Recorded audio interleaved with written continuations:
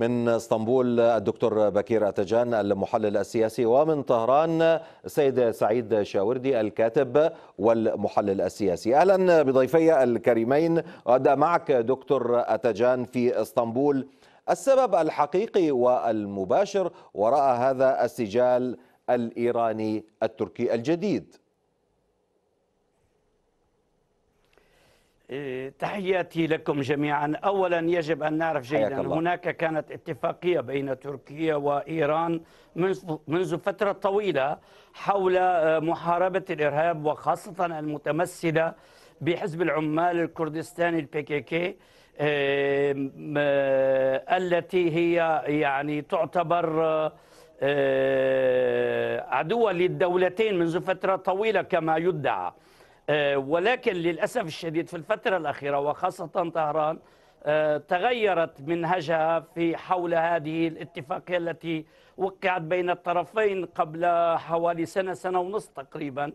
علما بأن هناك بعض العمليات المشتركة كانت وخاصة عندما أعلنت شمال العراق عن انفصالها عن العراق. ولكن مع كل هذا ليس أعتقد وإنما شيء أكيد بأن هذه تأتي ضمن توجيهات من الولايات المتحدة إلى إيران لخدمة بعض مصالحها مصالح الولايات المتحدة في العراق وفي الشرق الأوسط ومصلحة إيران في نفس الوقت التي هي واحدة في بالنسبة لهما الآن. ولكن دكتور بكير ربما يعتقد البعض بأن الاتهام التركي لطهران بدعم حزب العمال الكردستاني هو اتهام يعني غير منطقي بعيد عن مصالح الدول وطريقة تعاملها. كما قلت حضرتك هناك اتفاقية بين إيران وتركيا وهناك شيء من العداء مع حزب العمال الكردستاني إن كان في تركيا وأيضا في إيران. لا سيدي يعني اولا إيران غير ملتزمة وهي الداعمة الأساسية لحزب العمال الكردستاني ليست الآن منذ سنين. أعطيكم إثباتات على ذلك. يعني في عهد في عهد سليماني سليماني اولا عن طريق سليماني وافقت الإدارة الإيرانية على موقع وقاعدة لها في قنديل 1994 وكانت هذه يعني القاعدة باختيار من طرف الحكومة الإيرانية للأسف الشديد لحزب العمال الكردستاني في هذه الفترة. وبعد تدخل الأمريكي للعراق يعني 2004 بالضبط قاسم سليماني أيضا أتى بهؤلاء المرتزقة الإرهابيين حزب العمال الكردستاني وأعطى لهم مو مكانا آخر وهي جبال السنجار لذلك هناك موقعين مهمين بالنسبة لي لإيران وبدعم إيراني جاءت إلى هذه المنطقة واحدة في قنديل والتي تقع في نعم. شمال العراق والأخرى في سنجار والتي تقع داخل الأراضي العراقية ولكن ولكن هذه المجموعات التي تؤيد سياسة إيران وهي قريبة من إيران ولها دعم هذه نفسها التي مدعومة من الإيران في داخل نعم. الأراضي السورية وصلت وصلت الفكرة كثير من الاتهامات دكتور أتجان علي أن أذهب بها إلى طهران مع الأستاذ سعيد تفضل. يعني جوهر. الخلاف التركي الإيراني حقيقة اتهام تركيا لطهران بدعم حزب العمال الكردستاني. سمعت الاتهامات التي جاءت أيضا الآن على لسان السيد بكير أتجان.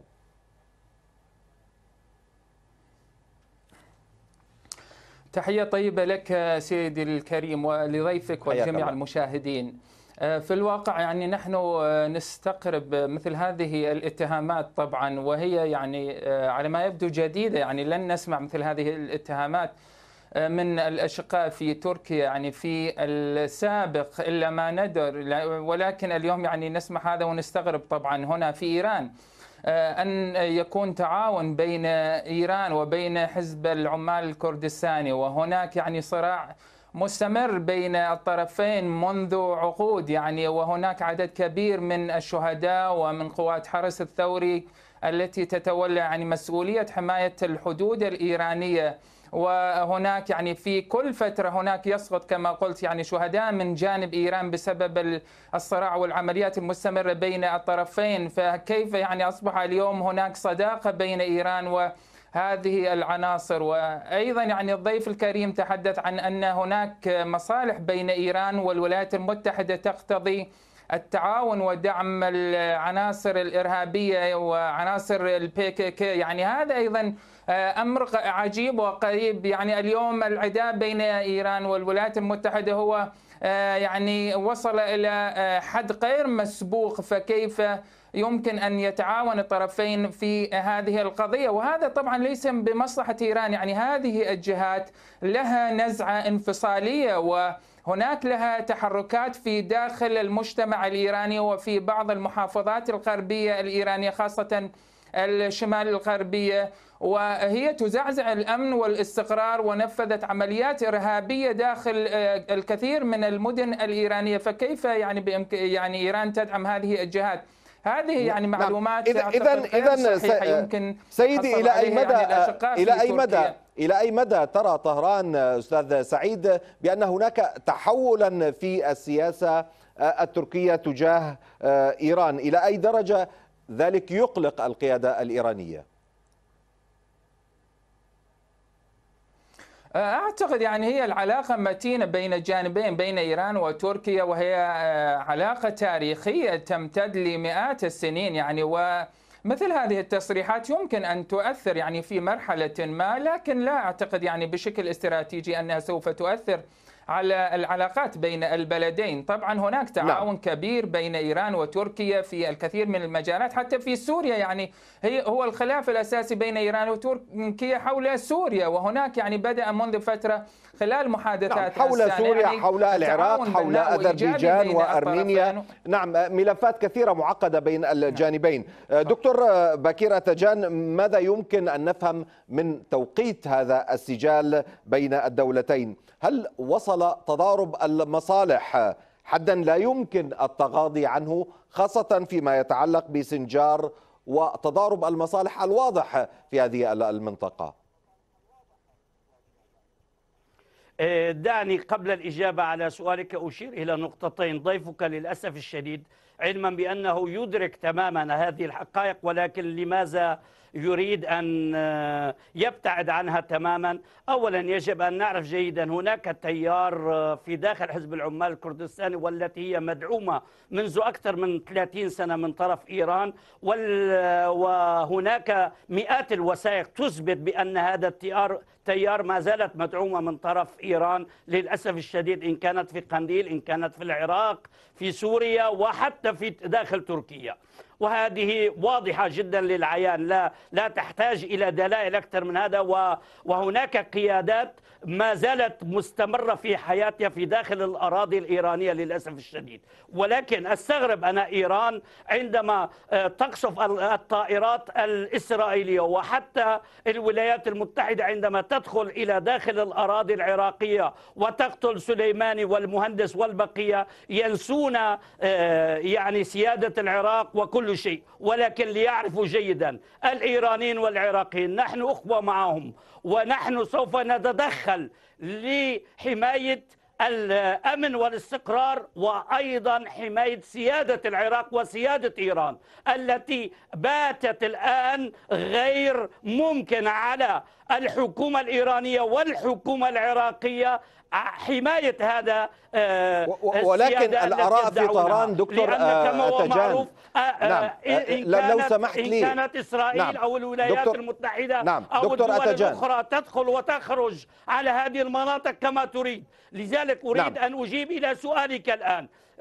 طبيعي مهما كانت الخلافات هناك علاقة وطيدة وغير ممكن على الدولتين أن تتخلى عن مصالحهما علما بأن في الفترة الأخيرة كما أشرتم قبل قليل إيران أصبحت إلى جانب الدول المعادية لتركيا إن كانت نعم. في أرمينيا إن كانت في قرباغ إن كانت في سوريا إن كانت في العراق إن كانت آه، حتى في الفترة الأخيرة العلاقة وبعد نجاح جو بايدن وجدنا بأن آه، إيران تتخلى عن صداقتها وأخو... نعم. وأخوتها وصلت وصلت الفكرة وربما ترى إلى, إلى طهران بأن المسألة تتعلق بتحول تركي باتجاه السياسة الأمريكية المعادية لطهران. والصداقة التي تربطها مع تركيا. مضطر للتحول إلى السيد سعيد شاوردي لأسأله نوع وشكل التفاهمات الممكنة بين آه، الجانبين. هل سنكون أمام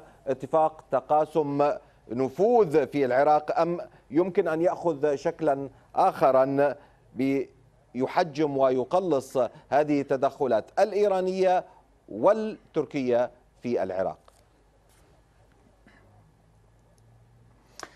أه، سيدي العزيز يعني أه، أيضا اسمح لي حتى أرد على بعض تصريحات الضيف العزيز. يعني هناك صحيح نعم يوجد تعاون بين إيران وبعض الجهات الكردية في العراق. ولكن هذا سيدي العزيز وتعلم حضرتك أن هذا التعاون كان في مجال محاربة الإرهاب في مجال محاربة داعش. يعني السيد البارزاني كان يعني كلامه معروف للجميع أنه صرح لولا القوات التي شكلها الشهيد سليماني لسقطت أربيل بيد داعش. يعني هناك تعاون إيراني كردي في مجال محاربة الإرهاب. ولكن لا يوجد يعني تعاون بين إيران والجهات الإرهابية وحزب العمال الكردستاني يعني على الإطلاق. أيضا يعني أشار إلى أن تركيا إيران أصبحت معادية تركيا في أرمينيا. كيف سيد العزيز يعني تتحدث عن هذا موقف قائد الثورة الإسلامية كان واضح جدا وإيران بشكل رسمي وقفت مع أرمينيا ودعمت آه، عودة الأراضي الأرمينية إلى آه، السيادة آه، عفوا وقفت مع أذربيجان عفوا وقفت مع أذربيجان لاستعادة قرباخ نعم. ودعمت نعم. العمليات التي قامت بها أذربيجان ودعمت حتى العمليات وصلت الفكرة أستاذ سعيد يعني مع لم يبقى معي سوى دقيقة يعني واحدة لتجيبي على سؤالي نعم. نعم. ما هي التفاهمات نعم. الممكنة بين الجانبين نعم. وهل هذا السجال مرشح للتصعيد نعم نعم. آه، سيدي العزيز يعني إيران آه، تدعو تركيا والدول الأخرى طبعا من باب حتى الولايات المتحدة يعني إيران تدين التواجد العسكري والاحتلال الأمريكي. فبإمكان إيران وتركيا أن تتعاون مع الحكومة العراقية الشرعية من أجل تحقيق الأمن في العراق وعلى الحكومة العراقية أن توفر الأمن لتركيا وتحارب الجهات التي تزعزع الأمن والاستقرار في تركيا. وأعتقد هذا هو الصحيح. لا يعني أن تكون إيران تتدخل في الشأن العراقي؟ أعتقد نعم. يعني تركيا هي ما تريده هو الأمن في حدودها مع العراق وعلى الحكومة العراقية الرسمية أن تقوم بذلك وهذا حق تركيا طبعا. نعم سيد سعيد شاوردي الكاتب والمحلل السياسي كنت معنا من طهران. شكرا جزيلا لك. الشكر موصول للدكتور بكير أتجان المحلل السياسي كنت معنا جزيلا. من إسطنبول. شكرا جزيلا لك.